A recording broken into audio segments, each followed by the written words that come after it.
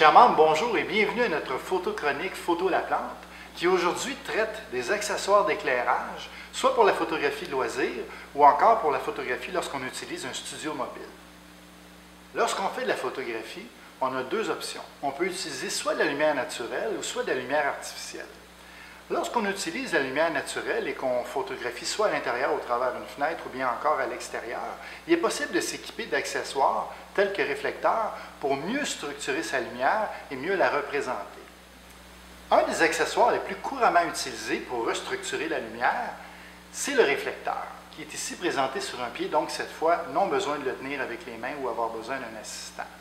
Le réflecteur, en fait, va réfléchir de la lumière qui provient soit du soleil ou soit d'une source de flash. Votre lumière vient du côté droit, donc éclairant côté du visage. Le réflecteur permettra de rééquilibrer ou de restructurer cette lumière-là en réfléchissant la lumière sur le côté opposé du sujet. Ils viennent en différentes tailles et différentes couleurs. Par exemple, un 22 pouces ici et un 42 pouces comme celui-ci qui entre dans un tout petit étui portable comme celui-là. Certains de ces réflecteurs sont même des réflecteurs de type 5 dans 1, c'est-à-dire qu'on a différentes teintes qu'on peut aller chercher en réflexion avec le même réflecteur.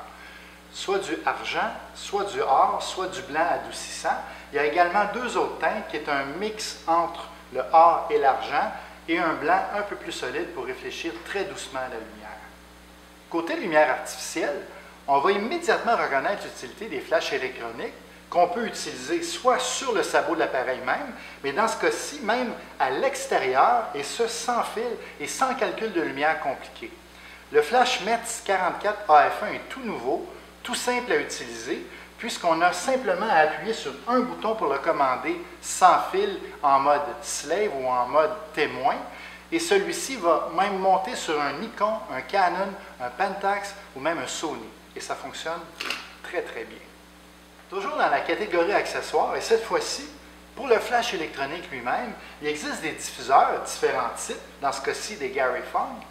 Le diffuseur a comme mission d'adoucir la lumière, puisque le flash électronique lui-même lance une lumière qui est très dure, qui ressemble d'ailleurs à une langue de poche.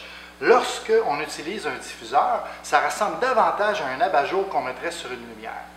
Ce qui est intéressant, c'est qu'on peut l'utiliser soit en vertical, soit en horizontal, et le résultat est toujours très surprenant. Un autre accessoire qui est fort utile, voire même essentiel en photographie, c'est la carte grise, qui en réalité a deux fonctions. Elle permet de bien équilibrer la lumière de façon parfaite afin d'obtenir toujours, toujours une exposition exemplaire. L'autre chose, c'est d'équilibrer les blancs, puisque le gris dans cette carte a des valeurs égales de rouge, de vert et de bleu. Ce qui est important, c'est de l'utiliser à l'endroit exact où se trouve le sujet, prendre un échantillon de ce gris et l'utiliser comme référence lorsqu'on va faire nos photographies. On va s'assurer que nos tons de peau sont toujours parfaits de cette façon.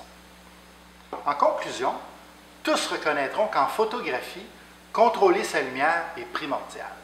Les accessoires qu'on vous a présentés sont un pas vers cette excellence. Il faut les utiliser au bon moment, au bon endroit, souvent parcimonieusement. Je vous invite à nous suivre dans nos prochaines photochroniques et d'ici là, je vous salue.